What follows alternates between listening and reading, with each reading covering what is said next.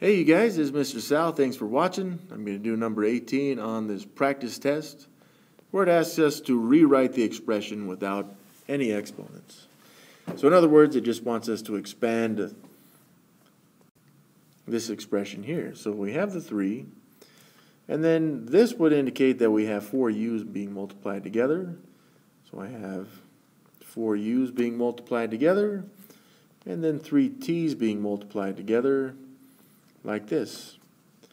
This is our final answer. There's nothing else to it. There's no calculations. All we're doing is essentially reversing our exponents there. So that's it.